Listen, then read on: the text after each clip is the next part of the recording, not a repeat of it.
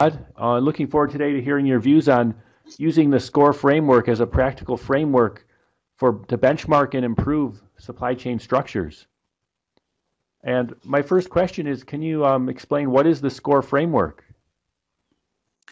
Okay, so the, the SCOR framework is basically a, a kind of skeletal structure uh, that works across any goods and services industry, and it's basically been put together by a group of uh, corporations and uh, defined really, and it's uh, run and uh, the iterations are improved by the Supply Chain Council, the SCC, which is now part of uh, APICS, of course, and they've merged now.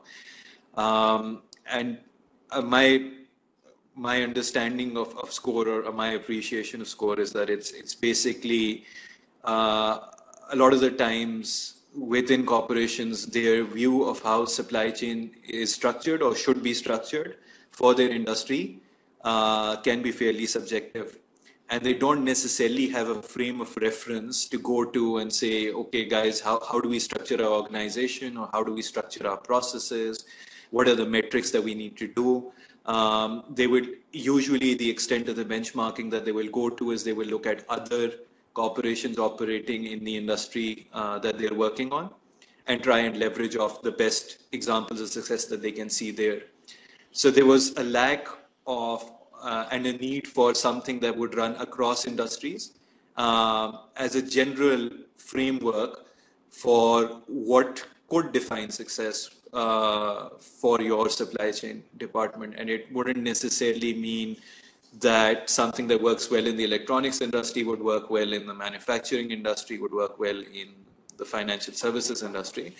But they work on the general principle uh, that the uh, on on how processes should be structured, on how performance should be structured, um, on people uh, and on practices. And it's a skeletal structure that you have to refer to in relation to how your organization works. So it's not a shopping list. It's uh, it's not something that you go to and pick out. Oh, I'll do everything that's in SCOR. You basically have to map out your processes, your business structure, and then SCOR is something that you can reference to to improve on that and to use that to benchmark and add on iterations that would make sense. Um, so yeah, and, and there are ways of using that, of course. Uh, so it's a very powerful application uh, heavy tool. Um, I've had the privilege of using it in a number of companies now. Um, and personally, I'm a real believer that uh, it's a it's a very useful tool for developing the supply chain organization. And uh, can you talk more about how it can help? Um, so basically, uh, there are many different ways of using SCOR. Uh, traditionally, when the supply chain council certifies you for uh, as a SCOR professional on their own formal courses they tend to do a very high level uh, process called the SCOR project and that would be driven more down from the C-suite level on how the company's strategy or its different supply chains need to be aligned. Um, so there's a definite top-down way of looking at your organization, and basically the way that would work is you would start off by looking at the SCOR metrics. So SCOR has four or five key and they call them attributes. Um, uh, the agility, responsiveness, reliability, um, the uh, asset management, um, and uh, cost.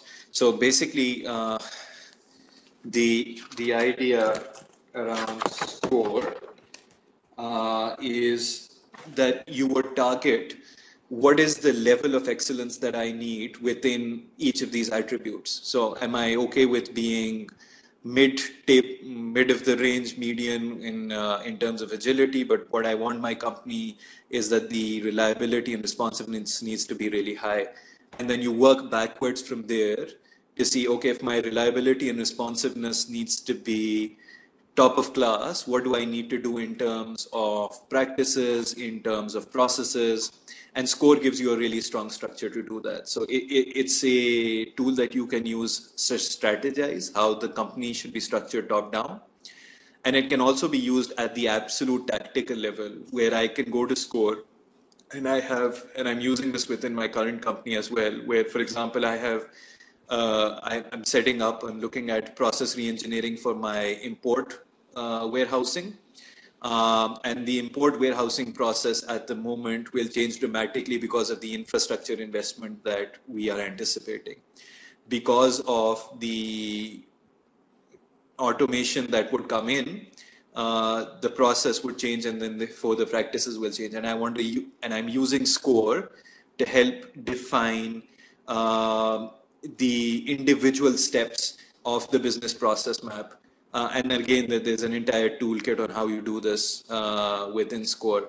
So, for example, SCOR can give you what is possible uh, inputs and outputs into a process. And you could look at your process step and see, well, this particular process step relates to uh, a similar process step within SCOR. Um, it uh, could potentially have these inputs and these outputs. Uh, am I missing out on certain due diligence or checks that I need to do prior to that activity? And is there some output from that that I could use to measure the process that I'm not doing? So they, from the absolute tactical level to the absolute strategic level, uh, SCOR gives you a very uh, diverse toolkit on how to uh, work on your supply chain structures. Uh, and where have you seen some success? Um, so, for example, again, this is more at the, the tactical level in terms of process reengineering. Uh, we, uh, I was part of uh, a MNC operating out of uh, Australia where they were restructuring certain operations uh, and we were looking to outsource some of the sourcing functions to Indonesia. And a big part of that success and how those processes changed was driven by SCOR. If they had simply translated the processes as they were in Australia to say, okay, we just pick up these activities and ship them off to Indonesia, the process would have been a lot less rigorous than when they said, okay, this is our as is, uh, this is the ideal state uh, as defined by SCOR, and this is the future state as we can possibly bring it to in the immediate form and then maybe we can push it towards the ideal state in the future. And so with SCOR, it would give a much more diverse checklist on what the individual process steps should have taken into account. What are the KPIs that you could potentially measure for those processes? And so it has a much more holistic cross industry benchmarking input into defining a, a, specific business process. And that's an absolute tactical example.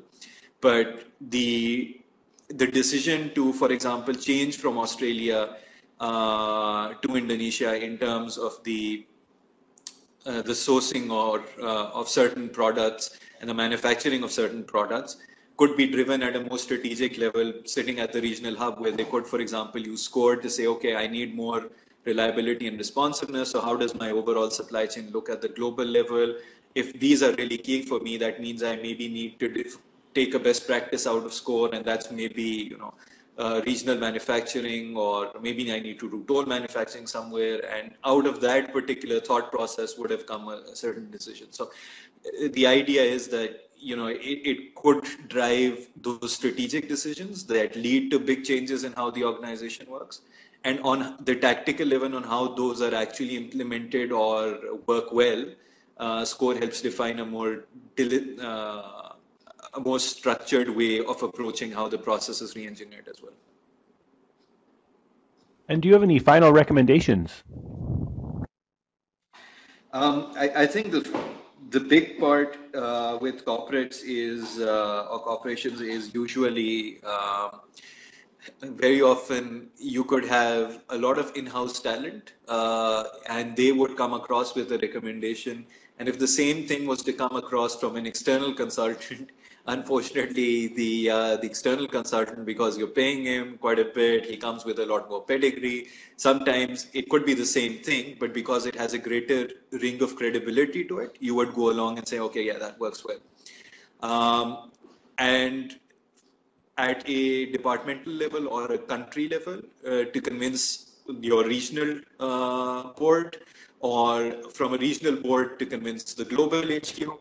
Sometimes when you're working off something as well known and as uh, tried and tested as SCOR to define your processes, we we are structuring this process this way because these are the, the final recommendation would be to uh, to use SCOR primarily as a way of uh, a kind of well-defined, uh, well-reputed, credible source for defining critical changes in your company's supply chain structures or processes.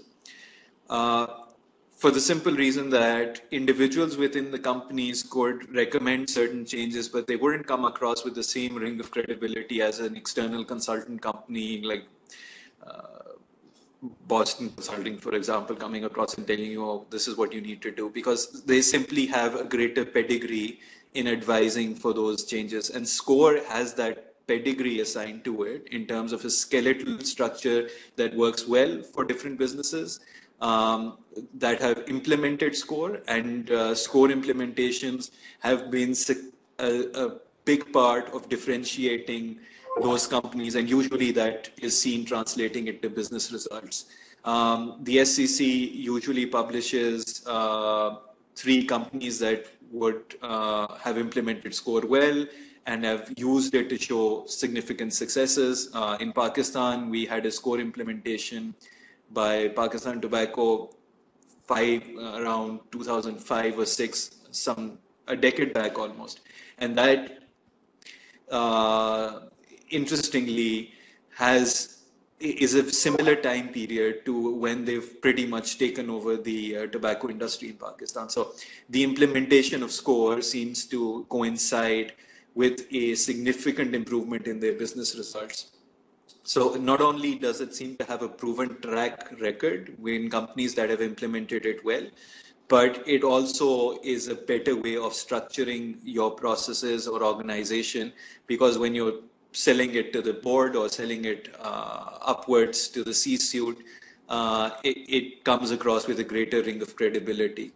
Um, and of course, then there's the, the branding opportunity for the company if they uh, if they're affiliated with the SCC uh, and proven to be uh, you know have one of the uh, more neutral neutrally recognized uh, quality supply chain structure So, so there's a lot of opportunities in implementing SCOR, but rather than the glory, I, I would focus on the fact that it actually works. It's application centric. Um, and it is going to take a lot less effort for supply chain managers to convince their organizational uh, hierarchy that guys, these are the changes we need to make uh, to be equipped for the future. And thank you. Can you provide? And you know, my last question is: Can you provide a brief background of yourself? So um, I'm basically a supply chain professional. I've worked across uh, a number of industries. I'm not actually uh, by by profession, I'm a mechanical engineer, but my, my passion is definitely now supply chain. And I've worked in the agri-chemical industry with a uh, Swiss corporation called Syngenta. I've spent some time working with uh, within tobacco with a company called Philip Morris, and I've had the opportunity to be based in various parts of the world with them, uh, particularly in Australia and Pakistan. Um, I currently work for the Emirates Group, uh, and I represent uh, the uh, the ground handling company dnata in Pakistan, and I look after their supply chain operations here. Um, I'm also SCOR-P certified uh, from my time in Australia. Um, I happen to be a very rare breed in Pakistan, so I'm working with a lot of the local institutes in trying to develop uh, a greater use of SCOR not only in corporations here, um, and uh, but also to try and set up uh, an ambit for SCOR certifications here, but that's a longer term process. Um, and there's been a lot of interest in that. I've done a few guest speaker sessions with some of the universities here. So normally uh, it's not a very well known subject here, but there are a few companies that have done SCOR implementations.